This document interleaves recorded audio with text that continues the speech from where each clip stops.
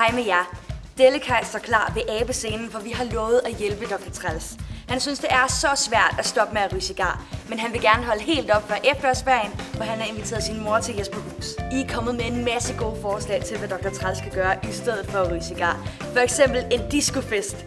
Delikaj og Dr. Træls er I klar?